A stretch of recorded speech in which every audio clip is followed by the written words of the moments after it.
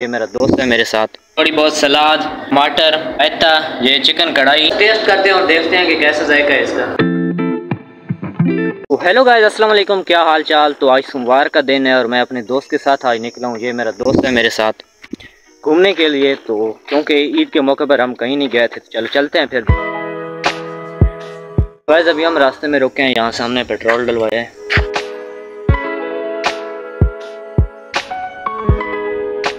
तो गैज़ अभी हम एक होटल पे जा रहे हैं। अब तकरीबन हम करीब पहुँच चुके हैं। बाकी हम ये जो है ना पिछरंद वाला बाईपास है। हम पिछरंद शहर में पहुँचे हैं और हम इस बाईपास से निकलने लगे हैं।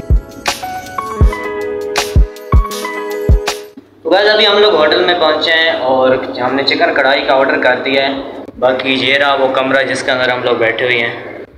और इस होटल का नाम है प्रीतिया होटल जो कि पिछरंद शहर में है, जो मेरे गाँव से तकरीबन बनता है बाईस किलोमीटर दूर है।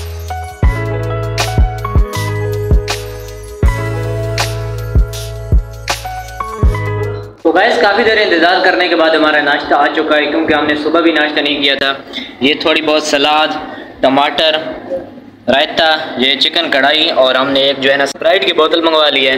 तो गैस टेस्ट करते हैं और देखते हैं कि कैसा जायका है इसका।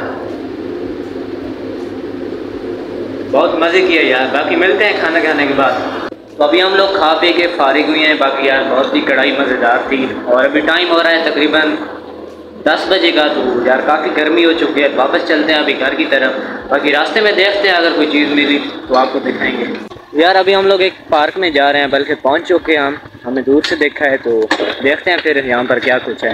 देखने से तो पार्क ही लग रहा है। तो ये है अपना वो पार्क, जो हमें दूर से नज़र आया था तो यार थोड़ा बहुत खूबसूरत लग रहा था, लेकिन अभी यहाँ पर पहुँच के पता लगा है कि यहाँ पर तो कुछ भी नहीं है।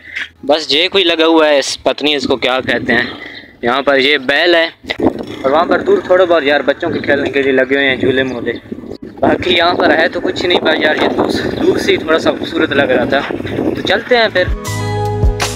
अभी दस बज चुके हैं और अभी हम लोग घर वापस पहुँचे हैं। मैंने इसे अपनी डॉग पर ड्रॉप किया है और अभी मैं भी खुद घर जाने लगा तो अभी मैं घर वापस आया हूँ और बाकी शाम को देखते हैं कि आज क्या करना है। तो हेलो गाइज़ अभी शाम का टाइम हो गया है और मैं अपने गाँव के खेतों में निकला हूँ। क्योंकि मेरा जो दोस्त है ना जैद उससे दो तीन दिन हो गया, मैं मिला नहीं हूँ।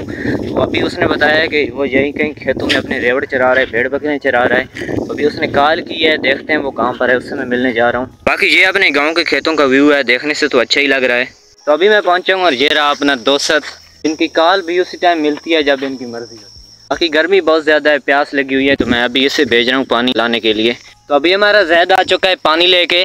तो गाइज़ काफ़ी देर गुजर गई थी और अभी मैं घर जा रहा हूँ। सूरज भी गरूब हो चुका है। बाकी मिलते हैं फिर इंशाल्लाह अगली वीडियो में।